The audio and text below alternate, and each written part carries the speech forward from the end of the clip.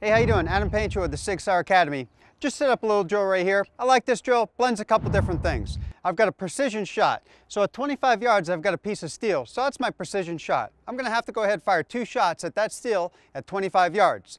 Immediately, once I stop firing, or once I fire those two shots, I'm gonna run out of ammunition with a slide lock reload.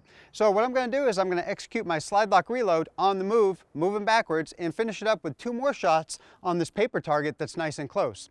What I like about this drill is I have to have the discipline to go from a tight precision shot with immediately going to a reload on the move and two quick point shots. Uh, so basically after I fire that second shot at 25 yards, you know, as I'm starting to press that trigger on that second shot at 25 yards, I I'm already starting to think about movement and all that stuff. So keeping the discipline to be on that trigger and execute that final last shot at 25 yards takes a little bit of work and a little bit of skill. And then I'm immediately thinking about going into my, uh, my emergency reload, a little bit of shooting on the move, moving backwards and finish it up with two more shots. So we've got precision shooting, we've got point shooting, we've got a reload, we've got movement, and we've got rapid fire. So kind of blending a whole lot of things into one. Nice little drill. Here, I'll demonstrate it one more time.